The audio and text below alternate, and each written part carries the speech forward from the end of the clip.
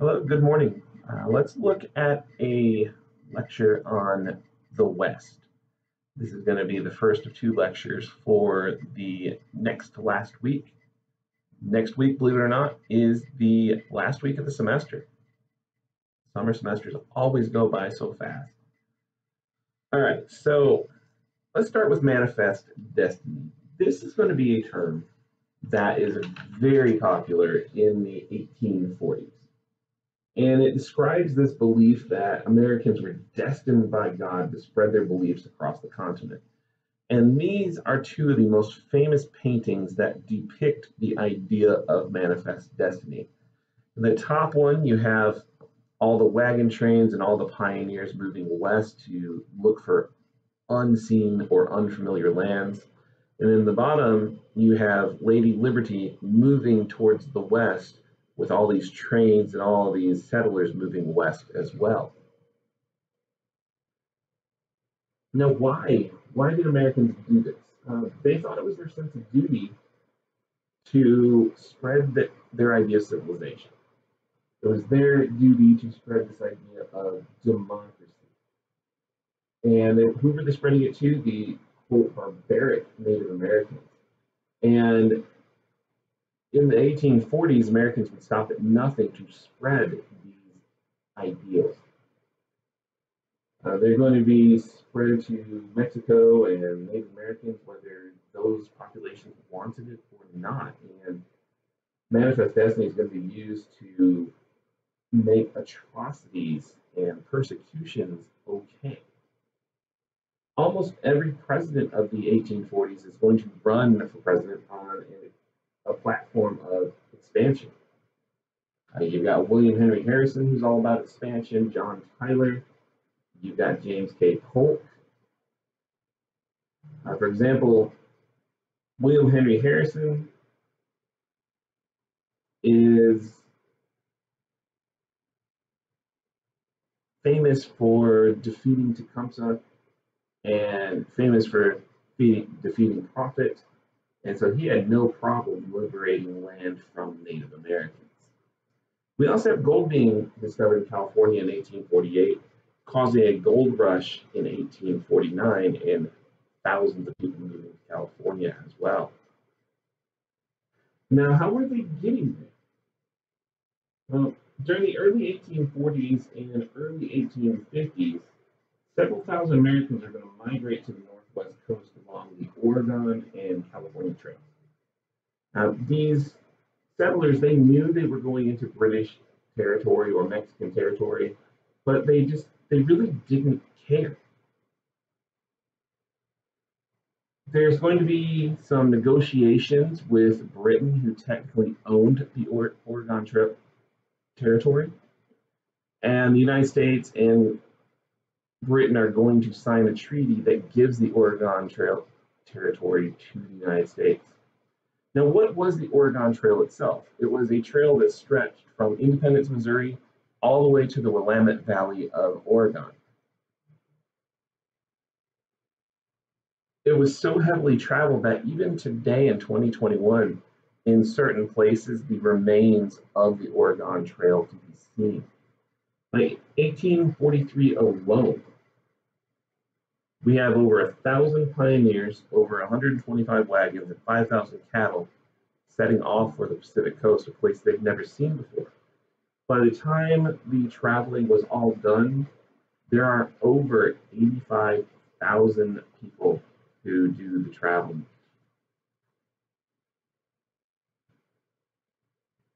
California Trail is a little less known, but it is probably just as important.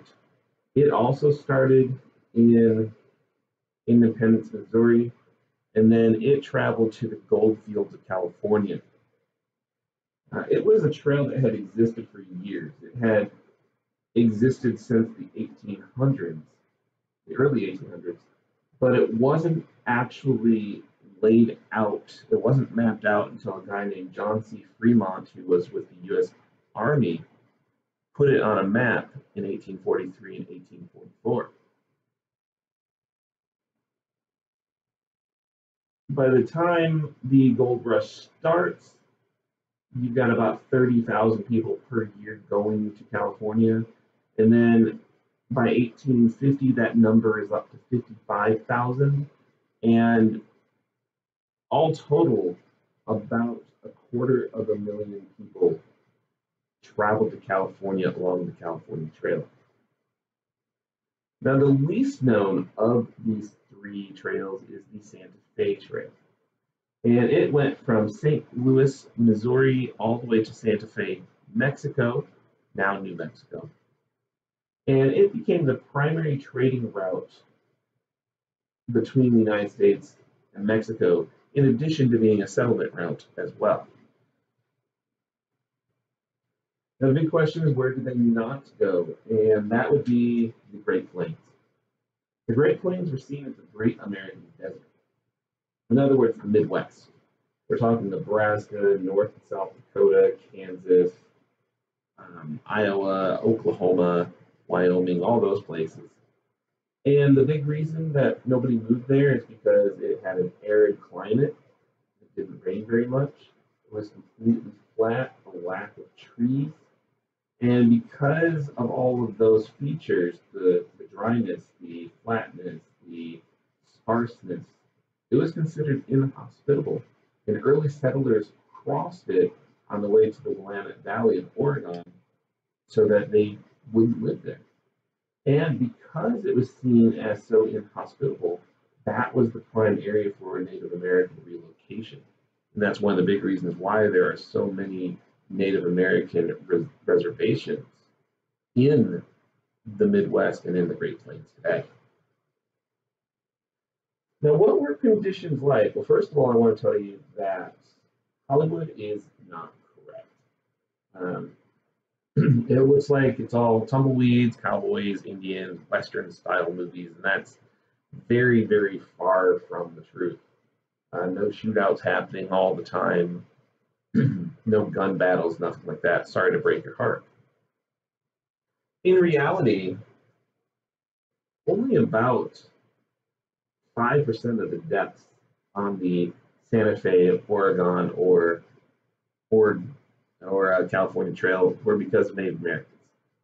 In fact, most wagon trains never see a Native American, and those that do, they're often met with friendly relations, and they're given food, water, shelter, and told which way to go. Uh, there are a lot of deaths, though. Uh, more than 20,000 people die along these trails moving out west, and most of those deaths are because of disease. Uh, you get cholera from unclean water, you get scarlet fever, uh, you just get straight up starvation, and then accidents as well. If you've ever played the game Oregon Trail, you're probably familiar with the term you have died of dysentery. Um, it's it's a rough go you pack up everything you've ever known and you move someplace you've never been and you never get to go back where you came from.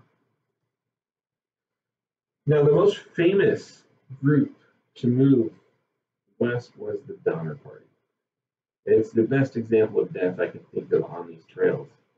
Uh, George Donner, he was a prominent and well-to-do farmer from Illinois and he's going to lead his family and some others from Illinois down the Oregon Trail. Uh, but the trip's doomed from the beginning. Uh, he leaves too late. He leaves in late spring instead of early spring. He takes more of, of his stuff than he does supplies, so there's going to be a shortage of food. And then they decide to take a shortcut across the mountains of Utah. Remember, there are no GPSs, there's no maps. They're just kind of winging it when they do this. Now, in the mountains, they meet up with another group, and they say they're going to California. So the Donners, in the middle of their trip, change their destination, and they all decide they're going to go to California together. Well, when they get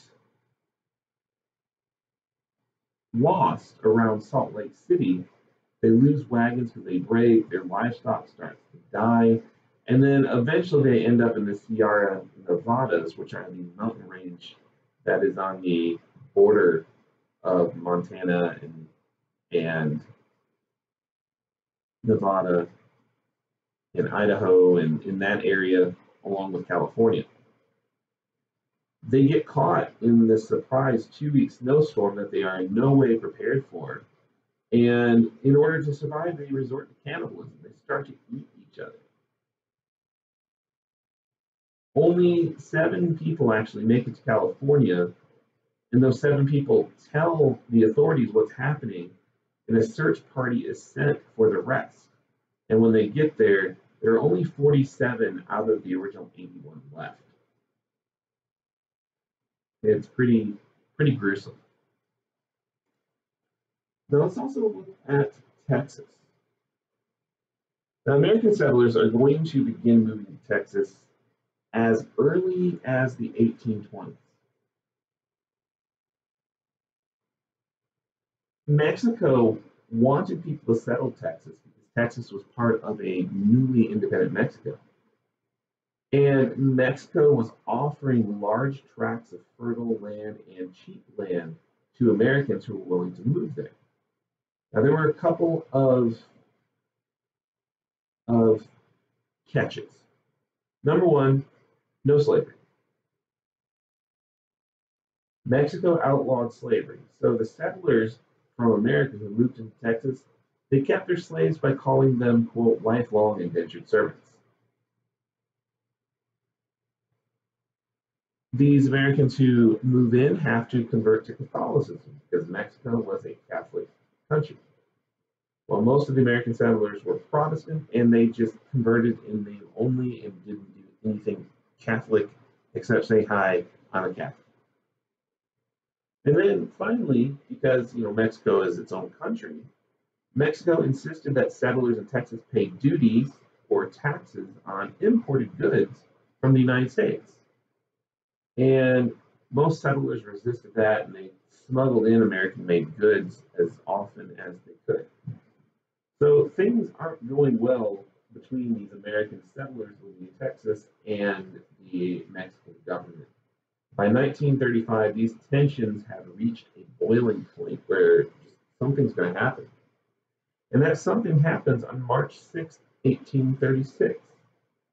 Uh, the Mexican government had turned an old Catholic mission into a base of operations to watch the, uh, American settlers in Texas. And by this time, those American settlers have taken on the name Texican.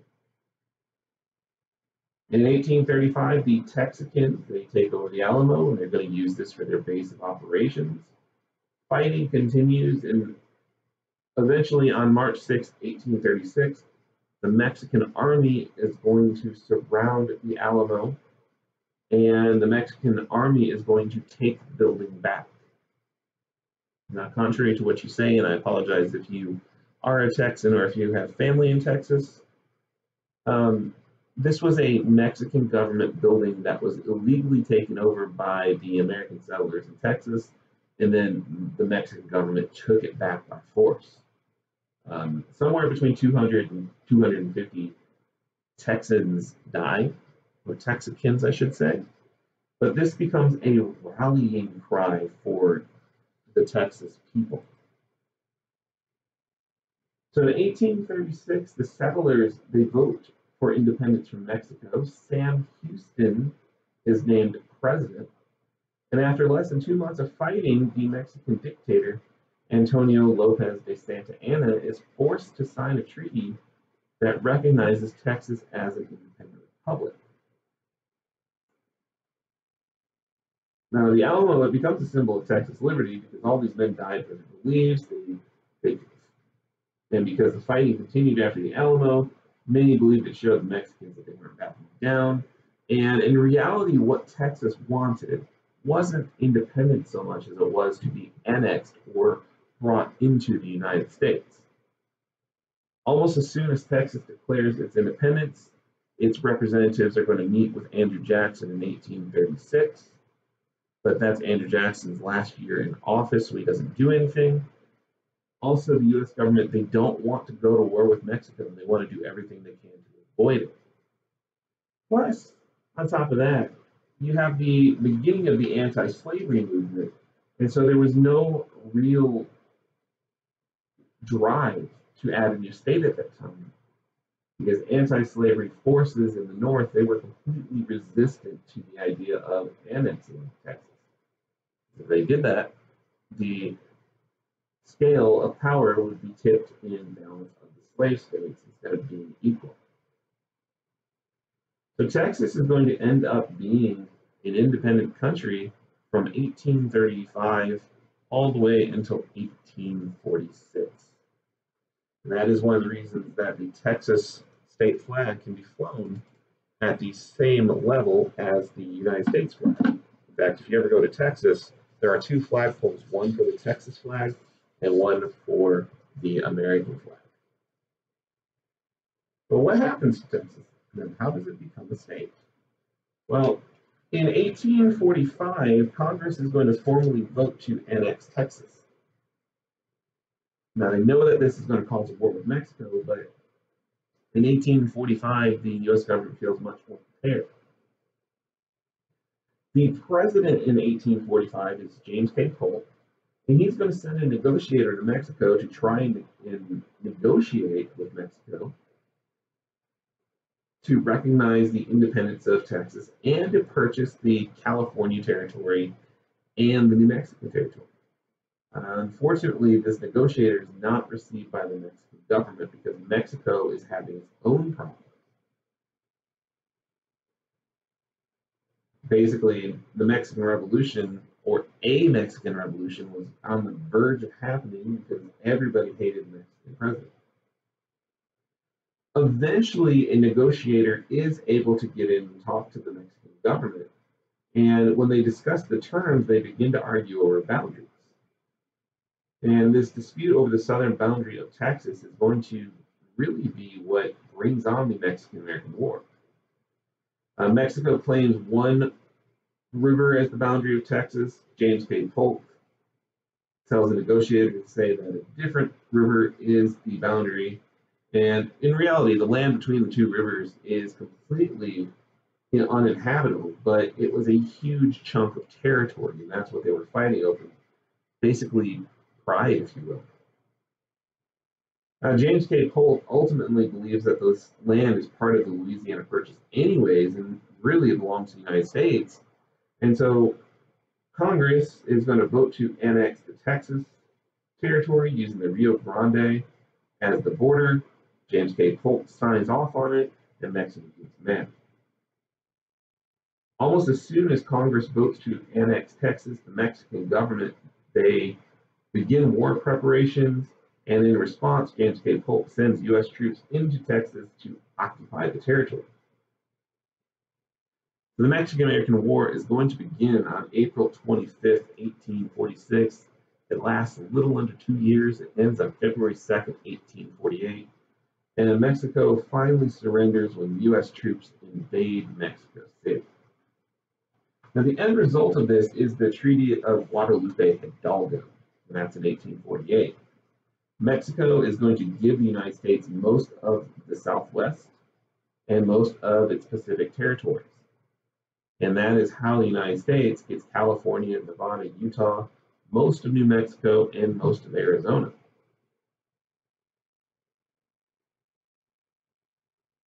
So by 1848, the United States as we know it is almost complete. The only thing we really have left to add are Alaska, Hawaii, Puerto Rico, Guam, and this little piece of land at the southern tip of New Mexico and Arizona. Well, the United States gets that southern tip of New Mexico and Arizona in 1853 with something called the Gadsden Purchase. And the whole reason that that was purchased is so that a railroad can be built across the southern part of the United States. Oh, and if you're curious where Alaska comes from, 1867, the United States to buy Alaska from Russia. All right, the last topic for this lecture is immigration. Between 1776 and 1812, immigration into the United States almost completely stopped, and that was because of the French Revolution and the Napoleonic Wars that all restricts travel outside of Europe until about 1815. But almost as soon as the Napoleonic Wars and as soon as the French Revolution have calmed down, immigration picks up again. Um, 1825, we have 11,000 immigrants per year. 1830, that's up to 23,000 per year. By 1840, 84,000. And the numbers just keep going up from there. Uh, between 1840 and 1850, we have almost 2 million immigrants that come to the country. And then in the 1850s, that is almost 4 million. Most of these people are coming into the United States through New York City. And you have more than 40 ships per day docked in the port of New York. But we didn't have Ellis Island yet. So they basically just got off the ship and they had to fend for themselves. Uh, some of these people find family members who have already arrived. Others try to find housing and jobs that day. They literally, literally just off the boat and have nothing to do. Others were a little more organized and they'd already purchased some land or they'd done some research before they got there. And there were even some of these Europeans who purchased land before they left Europe and then find out that their purchase was a scam and then they're just kind of left here with no money.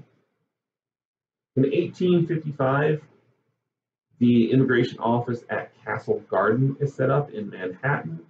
And for the first time, the names of the people are recorded, their nationalities, and their destinations. They're given a brief medical exam, and then Labor Bureau reps will help them find jobs.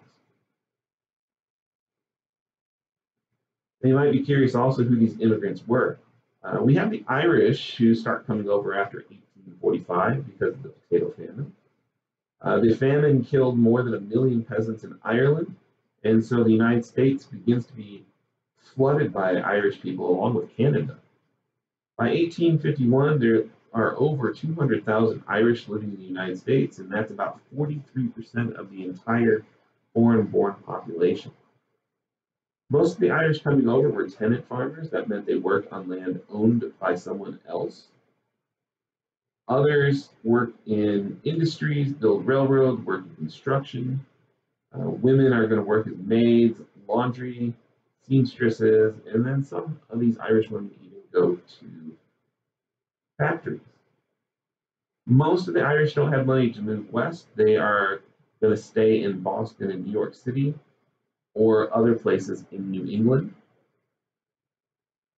And because the Irish are almost 100% Catholic, uh, they are going to really strengthen and add to the numbers of the Catholic Church in the United States. Germans are going to come over here in the 1840s and a few in the 1830s, but 1840s really, and 1850s especially. And a lot of this has to do with revolutions in Germany. Germany at the time was a series of independent kingdoms, like 30 or 40 of them at this point, and they all have different types of revolutions against their, their princes. Well, a lot of these revolutions failed, and so the people of Germany who were revolutionary ended up having to leave. Now, unlike the Irish, many of the Germans were educated professionals doctors, lawyers, educators, engineers, and with them they bring the ideas of Marxism. In other words, the labor movement and the push for labor unions. About a third of them were Catholic, but many were Protestant as well. But their ideas of Protestantism are different than the Protestantism that's already in the United States. So you have tensions with the United States and these German immigrants. You have religious tension as well with the part that's Catholic and then the part who's a different denomination of Protestantism. And then the established American German community didn't look favorably upon these new German communities as well. They have old Germans and new Germans not really getting along. Uh, the old Germans, they feel superior because they were here first, and they see these new Germans as outsiders. And because these new Germans have money when they come over here, they tend to move west, which is one of the reasons you find a lot of German ancestry in places like Chicago and Milwaukee and other places in Wisconsin. Now, there are other immigrant groups. Uh, the Irish and the German, they do dominate, but we also see spikes in British immigrants. They're mostly professionals. There are some farmers and skilled workers. And the professionals and the skilled workers are mainly coming to the United States to help with industrialization. You have some Scandinavians. Uh, they largely settled in Minnesota, Wisconsin, and northern Illinois, um, mainly because the climate reminds them of home. And there are still entire communities of Swedes in the Midwest. Uh, my family is from a place called Rockford, Illinois. Rockford, Illinois has Scandinavian cemeteries, Scandinavian school systems, Scandinavian museums, Scandinavian language, and Scandinavian food. I'm just going to tell you right now, Swedish food is pretty good if you've never tried it. By the 1850s, with development in California, we get Chinese people coming over in large numbers. And the Chinese people are really going to be involved in the mining operations. Remember, that's the height of the gold rush. And the Chinese people are going to build the railroads as well. Now, with all this immigration, there is tension. There is what we call xenophobia. You have Protestant versus Catholic. With all the Irish and German Catholics coming in, there was a fear that the United States would become heavily influenced by the Pope. The Pope in the 1800s was much more powerful than today. Today, in many ways, the Pope is just a figurehead, but in the 1800s, a lot more power. So there's this anti-Catholic sentiment that's going to become really strong, and there's a political party that grows out of it. This political party is known as the Know Nothing Party. And members of the Know Nothing Party, they vow to never vote for any Catholic or foreign-born candidates in an election. They were very strong in New England. They had quite a following in Massachusetts legislation. Their influence is spread to New York and Maryland, but they do die out when the issue of slavery takes precedence. We have a, a growing tension over ideology. We have Marxism versus capitalism. Uh, Marxism mostly focuses on the area of labor, and as workers are starting to become more organized, they're going to push for better pay, better work hours, they're going to want to join unions, get vacation time. And all the tension in factories and all the tensions on farms are being blamed on immigrants coming from Germany because they're talking to workers about Marxism and socialism. Now, there were labor unions as early as 1802, but these are going to be pretty much local trade unions where they get together and talk about trade issues. Uh, they're going to be in just largest cities and largest towns. But by the 1830s, unions begin to change and unions begin to take on more of a national focus. And they talk less and less about trade and more and more about workers' rights. By the 1840s, labor unions begin to call for labor reform, which makes politicians nervous. And then we start to get protests and strikes and, and shutdowns and everything else.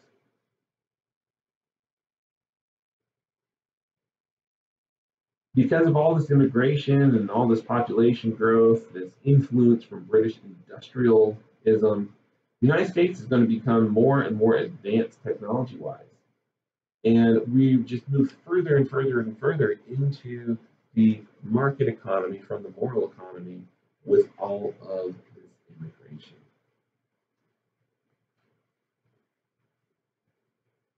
Now things will change during the 1850s and we'll start talking in the next video about this change where the tensions really, really rise and we get closer and closer and closer to the Civil War. But that will be in the next video, not this one, so you'll have to stay tuned. All right, we'll talk to you next time. Bye-bye.